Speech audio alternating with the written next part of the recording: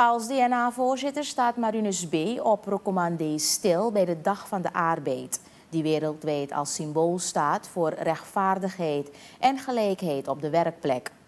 B. wijst erop dat de inzet van hardwerkende mensen wordt herdacht en hun cruciale rol in de opbouw van onze samenleving wordt erkend. De voorzitter roept de samenleving op om op deze dag van de arbeid solidariteit te tonen en respect te geven aan alle arbeiders.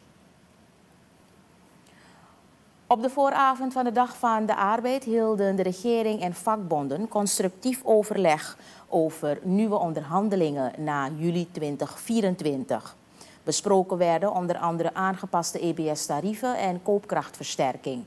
De regering streeft naar een afbouw van 5,2 SRD miljard om de staatsuitgaven te verminderen en zal overstappen naar subjectsubsidie voor verschillende verbruikers, verbruikerscategorieën. Financiële experts presenteerden de huidige economische situatie met een groei van 3% en een versterking van de monetaire reserve. Verdere gesprekken zijn gepland voor 6 mei. Stichting MVDC Boerleider Fernandes organiseerde een landbouwtraining over plantvermeerdering op 25 en 26 april in samenwerking met het ministerie van LVV, gesponsord door het Cultuurfonds van Nederland.